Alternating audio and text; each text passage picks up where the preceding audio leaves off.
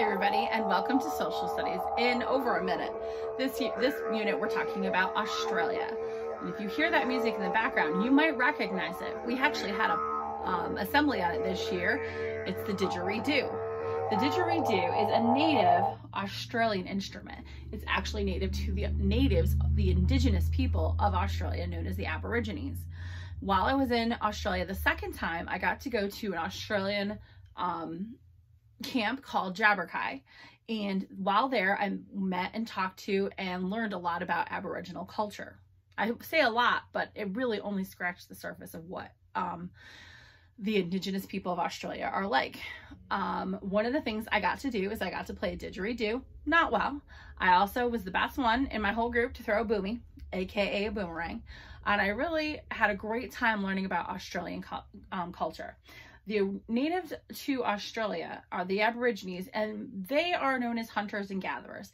They actually didn't stay in one place very often. They moved around depending on how the, their food source was.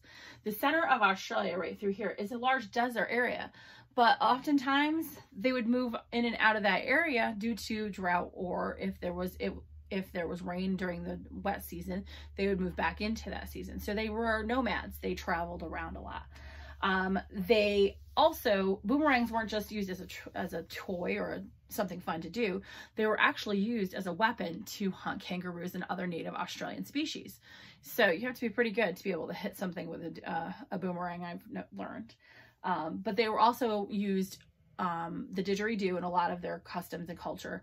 Um, so native, one of the things about um, Australia that I enjoyed the most is that over the years, they've really come to respect and admire the Aboriginal people too.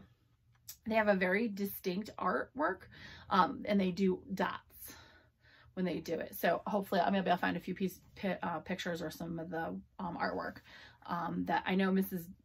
Ecordino tries to do with you guys when we do um, art. She does Aboriginal artwork.